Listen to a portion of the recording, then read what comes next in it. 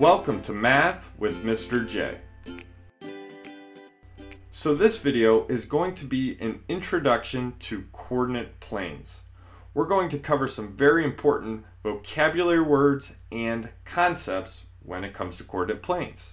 And as you can see on the left hand side of your screen, we have six numbers there followed by important vocab words and concepts. So that's what we're going to cover in this video.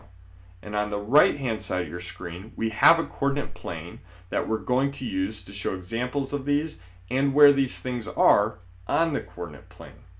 So let's jump right into number one here, which happens to be coordinate plane. And a coordinate plane is a two-dimensional surface, so flat, on which we can plot points, lines, curves, etc. Now, here on the right hand side of your screen is an example of coordinate plane. And then number two and number three, this is what our coordinate plane consists of. It consists of an x and a y axis. And it's very important to know the difference between the x and the y axis. So the x axis is the horizontal or side to side axis. So I'm going to come over to the right hand side of your screen and label the x-axis. Again, x, side to side or horizontal.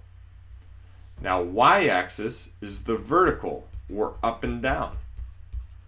So I'll come to the top of your screen here and label that the y-axis. So again, x side to side, y up and down. Now number four we have the origin.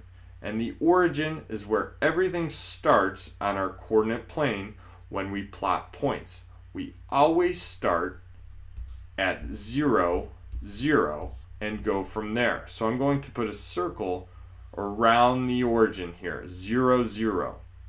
So when we plot points, we always start there at the center and then go side to side and then upward down.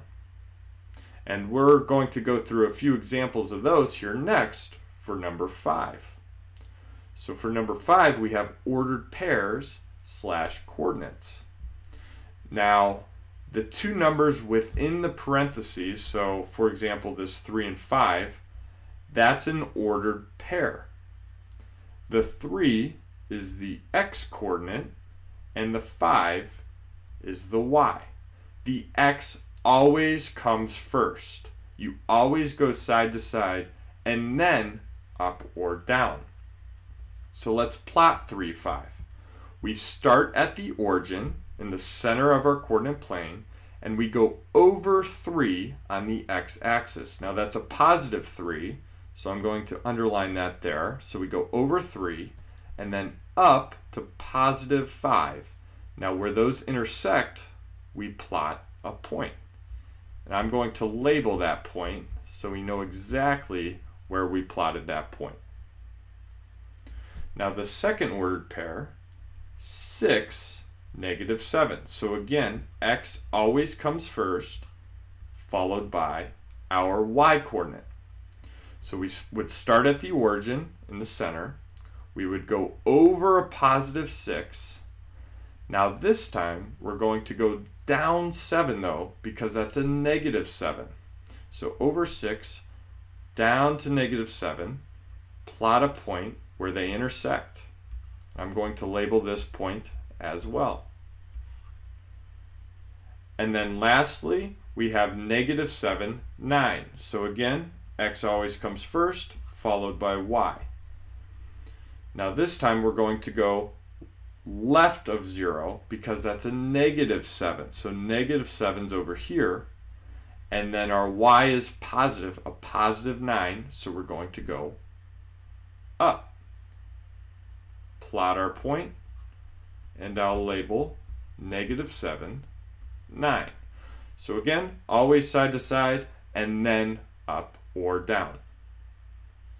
Lastly, we have quadrants. Now, if you look at your coordinate plane there, you'll notice that we have four sections, top right, top left, bottom left, bottom right. So this 3, 5 right here, this top fourth, this is considered quadrant 1.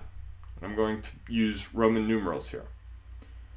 Now I'm going to jump to the left where negative 7, 9 is. This is considered quadrant 2. So negative 7, 9, that point is plotted in quadrant 2. Now we're actually going to go down to the bottom left, and that is quadrant 3. And then we go to the bottom right, and that is quadrant 4. So we actually go around this way when we count out our four quadrants. So again, 1, 2, 3, and 4. So 6, negative 7, that point is plotted in quadrant 4. So there you have it. There's the basics of coordinate planes and some very important vocabulary words and concepts that we need to know. Thanks so much for watching. Until next time, peace.